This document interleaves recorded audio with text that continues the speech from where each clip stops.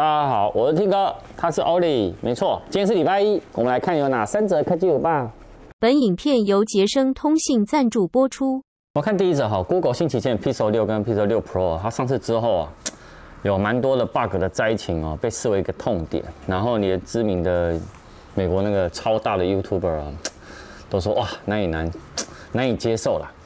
稍早呢，其实官方已经试出了最新版本的更新哦，它一次修补了近一百个 bug。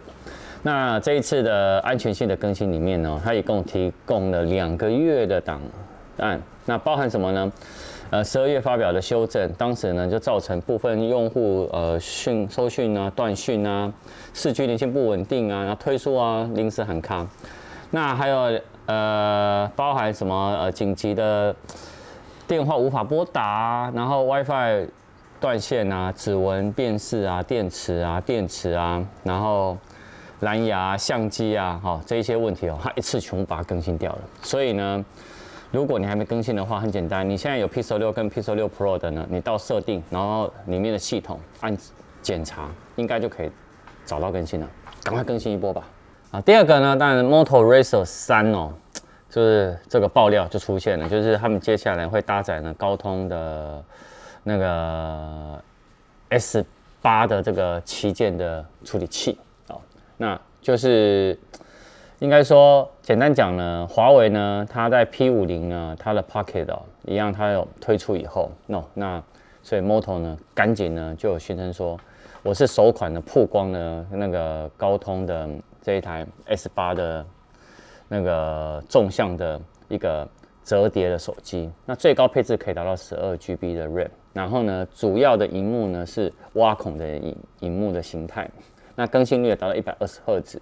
那他指出说，呃，因为 Moto 的第一代啊，跟 Moto 第二代的折叠手机啊，都是用高通七系列的，所以这一代呢，它可以哎，终于可以搭载到高通 S 八的旗舰的处理器。那所以呢，哦，爆料就马上就出现。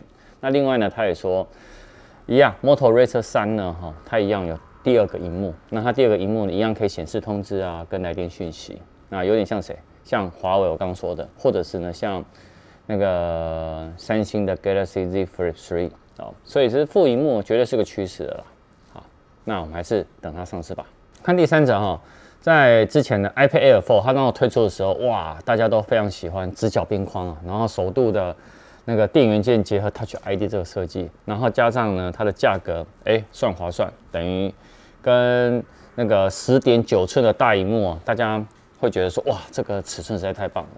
那根据日媒哦，他引述我说，接下来呢，在今年的春季发表会有可能会推出 iPad Air 五，那会跟谁一起推出？跟 iPhone SE 第三代一起推。那报道说，其实 iPad Air 五，它的硬体规格会跟去年的 iPad Mini 六呃有点类似，包含了有 A 十五的仿生晶片，然后升级后的一千两百万画素的超广角的前镜头。然后也支援人物居中的功能，那可以在呢 FaceTime 的时候呢，自动追踪我们人物及，并且呢，自中一个拍摄。然后它一定是有五 G 的。那后置镜头呢，一样维持单镜头的设计。那发表时间，呃，依照他们这样推测上来，应该没有意外呢，就是它在今年春季发表会。好，相关的一些新的讯息呢，我第一时间会跟大家分享。那我们每个月的苹果每月报，我们会从这个月就开始。也就是说，这礼拜有一个苹果每月报，有相关更详细的新闻呢，大家期待一下我们苹果每月报哦。